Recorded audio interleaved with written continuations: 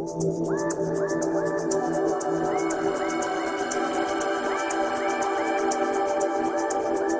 Ильичек, кыргызский женский головной убор, внесен в репрезентативный список нематериального культурного наследия ЮНЕСКО.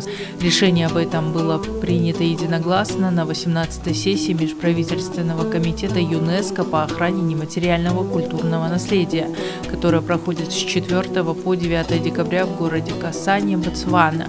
Из 60 номинаций, представленных в этом году, номинация Ильичек, кыргызский женский головной убор, традиционные знания и обряды – входит 18 номинаций, признанных международными экспертами лучшими и отлично подготовленными.